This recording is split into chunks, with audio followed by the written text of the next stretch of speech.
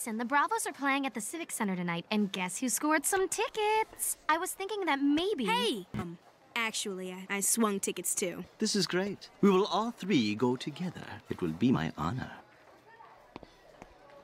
What are you doing here? What am I doing here? You insisted. Who said go for it? I don't even know what that means. You said it! I know. I didn't mean it.